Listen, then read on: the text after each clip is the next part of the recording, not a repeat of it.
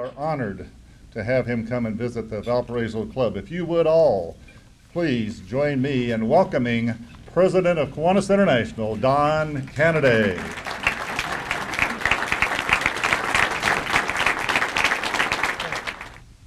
I want to thank those of you that have been part of my uh, life, my Kiwanis life, and have supported me and allowed me to serve as the governor of Indiana and then allowed me to serve at the international level. It's been a great honor.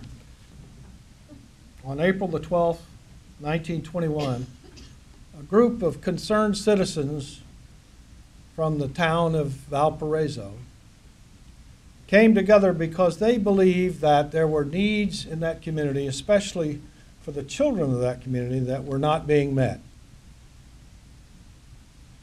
And these men, at that time, it was all men, came together and formed the Kiwanis Club of Valparaiso.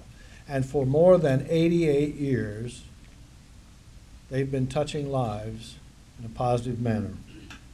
88 years, a history, a legacy of service to the citizens and especially the children of this community, making a difference in the lives of children. That's what Kiwanis is all about.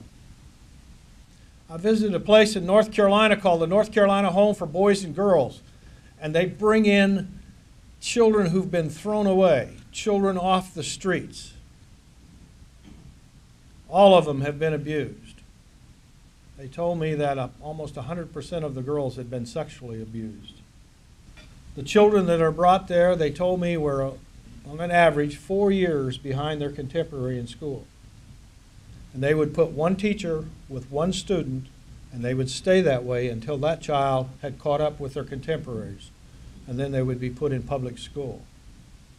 Every child there was guaranteed a four year, fully paid university scholarship. I met the, the, the president who run the place had a master's degree, was a very impressive man, had a very impressive resume. He was a graduate of that home. I met the chairman of the board, who was a CEO of a large power company. He was a graduate of that home. I met the vice chairman. He was a retired superintendent of schools. He was a graduate of those homes. Kiwanians touching lives in a positive manner. Several years ago, Kiwanis International had its first worldwide service project. It was called iodine deficiency disorders, and that's the world's leading cause of preventable mental retardation in children. If a mother is carrying a fetus and she doesn't have iodine in her diet, there's a good chance that child is going to be born irreversibly mentally retarded. There are other uh, results from not having iodine in your diet, but that's the biggest one. But this club, when this was announced, stepped forward. And because they care about the children, not just in this community, but the children of the world, your club donated enough money that you put a safety net under 676,460 children.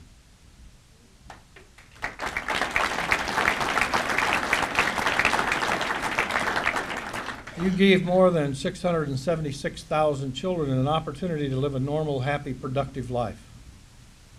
You put the smiles on the faces of more than 676,000 children.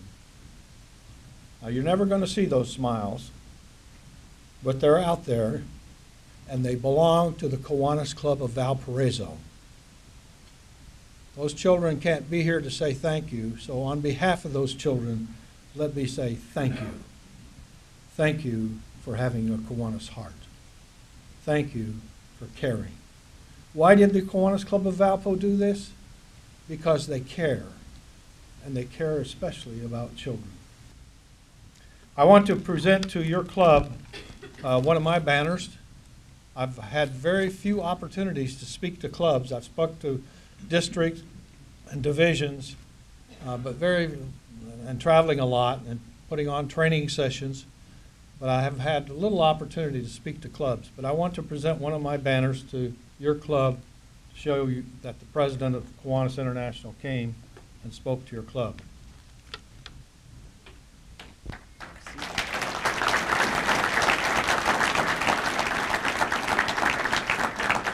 And I also want to present one to the city of, Indiana of uh, Valparaiso and to my Rotarian friend who's wearing a Kiwanis heart.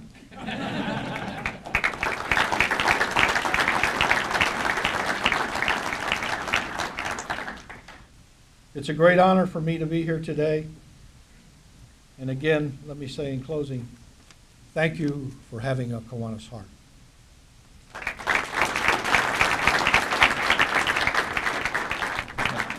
Well, as, as, uh, as, as a mayor, you get to see your city from a lot of different angles, and uh, one thing that I have been struck with is, is how vital service clubs are to cities. Um, and, uh, and particularly our area, we have some of the most vibrant, well-attended, uh, and, uh, and just uh, active service clubs anywhere in the country. And I can tell you right now, it makes a profound difference in our community. I want to thank each and every one of you for being involved and for rolling up your sleeves and getting things done. And I was reflecting on today why service clubs make a difference in the community. Well, there's, there's a lot of reasons. First of all, the obvious reason is that you meet needs. Uh, a lot of those needs have been expressed here today, but you do it on an ongoing basis, meeting needs throughout our community in various ways, uh, and that's, that's a great thing. But it's also a vehicle for uh, enabling leadership. You help bring in young people, develop leadership, and you share with them how important it is to be involved in the community and to provide leadership at this level. So uh, that's another positive. And finally, I think it creates a unity in a community. When people get together, they're meeting, they're discussing issues, they're uh, working together to solve problems. It creates a spirit of unity that I think is very strong.